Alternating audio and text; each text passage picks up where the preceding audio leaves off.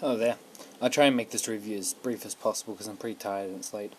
Um, I'm here to review uh, New Super Mario Brothers for the DS. Now, DS Lite, yeah, not that fucking shit DS. And uh, I'll just get the case, one second. Yep, here's your case. You got New Super Mario Brothers. Uh, yeah, you got a little skimpy booklet on the inside and your little cartridge case. Yes, very nice. But strangely, we've gone for the American cover. Um, it's very odd, because usually we go for European covers, my country. Anyway, on the game itself. Uh, I'll just open it. You get a nice little intro by Mario himself. I'll just turn off this fucking light. Okay. So basically, uh, there hasn't been a Mario game in fucking, I don't know, 50 odd years. And, oh fuck, shut up!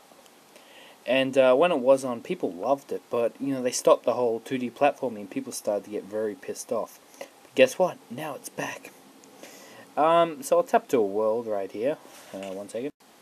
Okay, as you can see, the worlds look very cute and innocent, and uh, that's how they want you to think when you figure out how hard this fucking game can get. So I'm just gonna go here. Hope you can see that on the screen. Yep. Okay. Now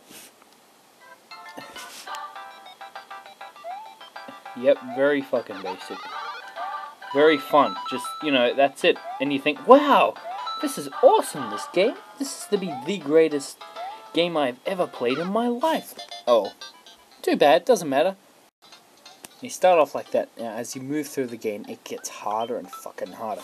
Now, the map is really retarded. Like, instead of going one, two, instead of going one, oh, that's fucked up. Instead of one, two, three, four, five, six, six, seven, it just takes a path like that. To unlock these worlds, you have to do all these secret shit. You know, I, I managed unlock that one, but I haven't unlocked world 7. Ah, fuck, who gives a shit? Now, like I said, the worlds are very well designed. And they're all clever, and they'll really get you thinking.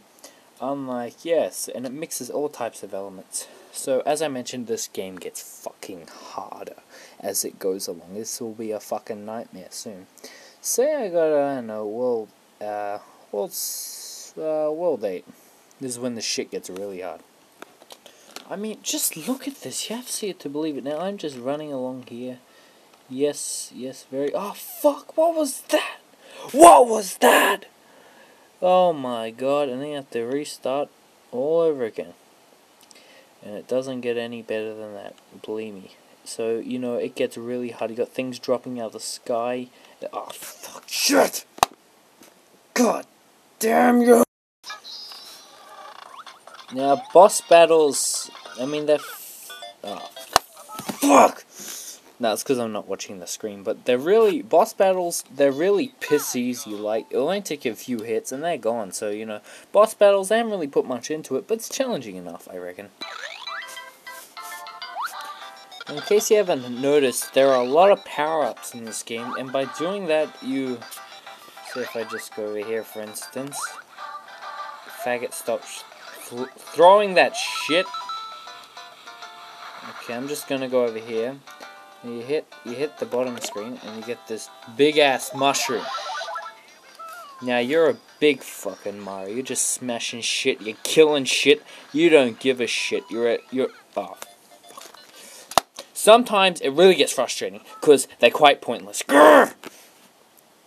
So what more can I say about the game? It's very good, but you know, later stages in the game will cause you serious psychological harm because it's just mocking you. It looks childish, but it's not. Believe me, it's not. Now, as well as having a great single-player campaign, you've also got these little mini-games. And these, you know, these are really fun. Yeah, we see that so if I go to one player, you got all types. You got action, puzzle, and table. Now if I pick action, it's very similar to what you saw in um, Super Mario 64. Yeah, right. Same star from Super Mario 64, and you just, yeah, it's fun. It's very fun stuff. In conclusion, New Super Mario Brothers is quite a good deal for your money. You're getting, like, the mini games are good, but then, you know, it's not worth the whole game itself, but the campaign's great all in all, I give it 9 out of 10. Very fun, addictive. But later on, harder stages, it gets very hard.